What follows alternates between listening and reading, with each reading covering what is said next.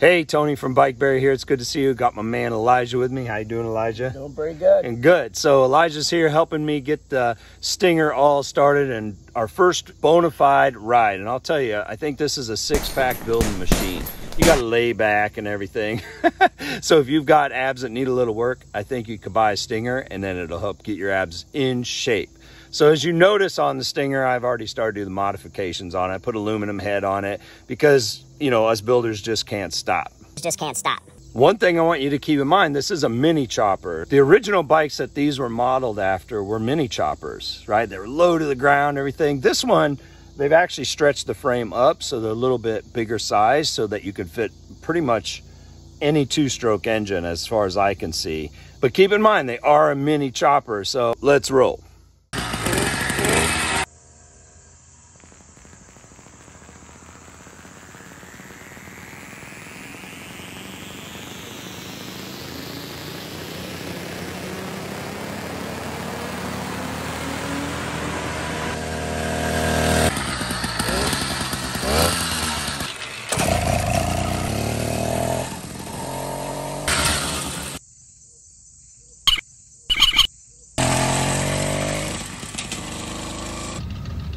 So let's follow Elijah on his half mile ride here.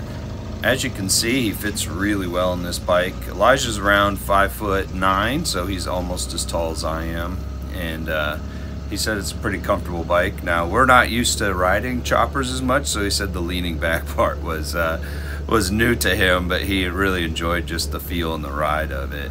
Uh, it's a super solid bike. It really does handle the terrain really well, and with the wide four inch back tire, that thing really is cushy. Like, I can see why people really love this. But overall, like plenty of power and everything just to handle the, the road that we live on. Right here, we're on a curve and then we come up on another one and then downhill. Really, the wheelbase of this bike and coupled with the knobby tires, it really grips the road and it's a solid ride. I could totally feel how it just gripped it downhill and now we're going uphill. Uh, it's just effortless. Let's look everything over on our chopper style frame. If you look at the wheelbase from center to center, it's 53 inches. Now, the front wheel is a 24 inch wheel, 2.35 wide. The rear is a 20 inch wheel, 4 inches wide. They're both knobby tires, which uh, some of you may not want a knobby tire, but I think that's a great start on this bike to get because in my area, it really helps it to grip the pavement. I have no troubles riding this. I felt like it was a very stable ride and nothing was slipping at all during my ride. It has a crankset that's the three-piece type with a 44-2 sprocket. It's really solid.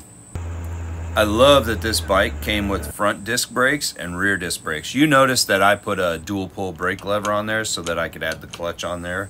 Um, but man, this makes it a world of difference for stopping power that it's a stock thing on the bike because trying to add them on later, yeah, you can do it, but because these rims and everything are so unique to the bike, it's really great that it came with it. Then you throw in chopper style handlebars, a front headlight, and a bipod kickstand that's out of the way when you're working on the bike. I really love those because then you can pedal, uh, you know, crank the pedals around and adjust things, and your kickstand isn't in the way. Finally, I love that it has a storage bag on the front. I just thought that was a really nice touch to the whole bike and to the whole theme.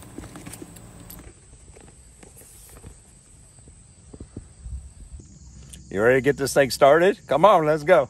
Or do it again. You ready? Let's roll.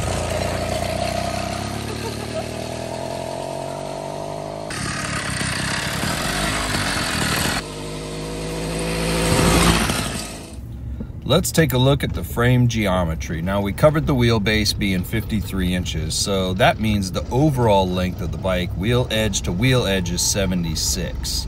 So that's a pretty good sized frame for a mini chopper. The next thing to look at is the standover height. On this bike, it's 28 inches, so this is you swinging your leg over the seat just to get on the bike, okay? And because the seat dips down, that means a lowest seat height position of 27 inches.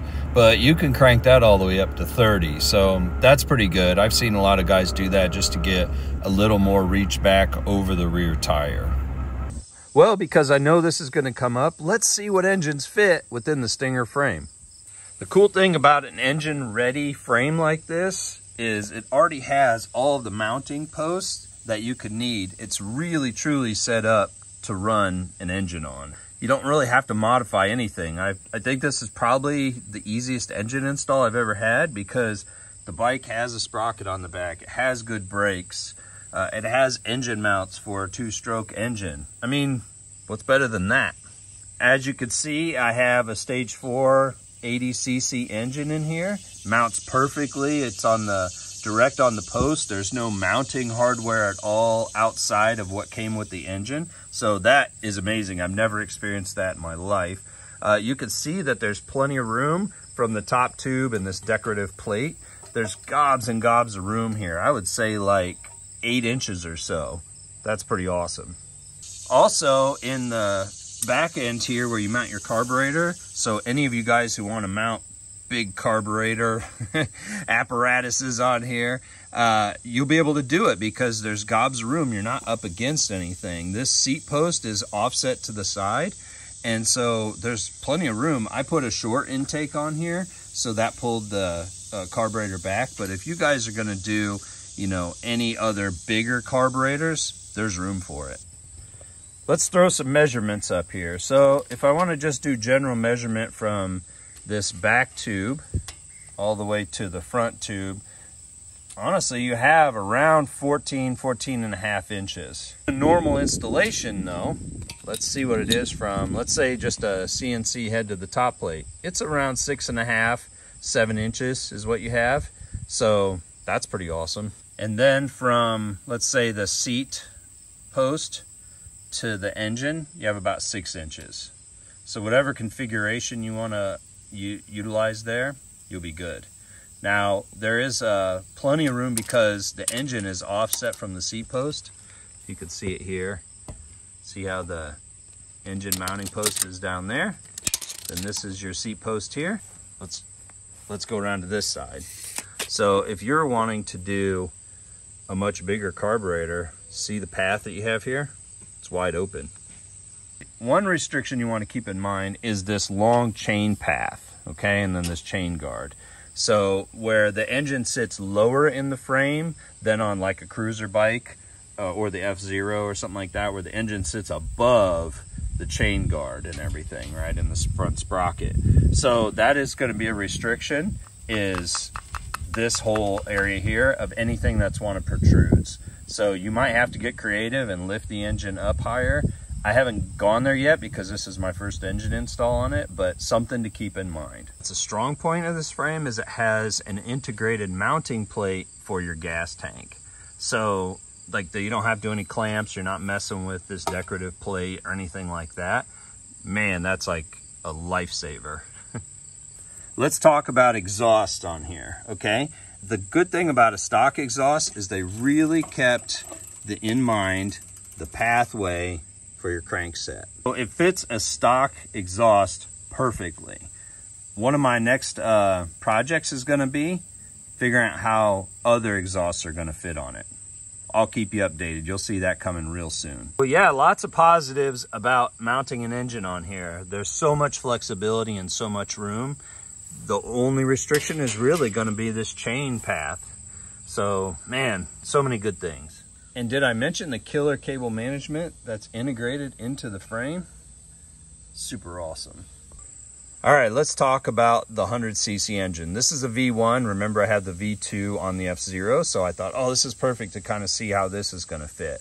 So it'll bolt right into the, the post there that you see. The only issue you're going to have is the exhaust goes off on the right side of the bike. I am working on an adapter for such a situation, so be patient. I'm working on it. I have to get some uh, machine shops involved, and so once I have a good prototype, we'll start talking about it. So for right now, yes, the engine bolts on, but your exhaust is going to be a problem because it's going to run into the chain guard and the front sprocket. So for right now, just stick to your classic 80cc engines and mod the heck out of them, as you all do anyway, right?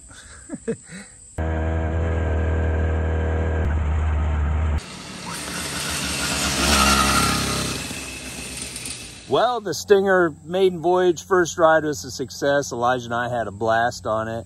I really tried to go deep on what fits, the frame dimensions and everything. So when you go to the site and start building out the cart to get your Stinger, you know exactly what fits and what to expect. So please comment below of any questions that you have that I missed. Let me know what your thoughts are of how you want things to fit and kind of your vision for the Stinger that you're going to enjoy. So let me know below. I appreciate you. Let's roll.